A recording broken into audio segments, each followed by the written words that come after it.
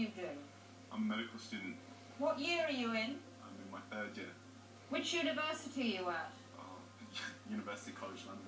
University College London, third year, medical student who thinks conjunctivitis is something to do with the liver. What are you going to be when you qualify? Apart from dodgy.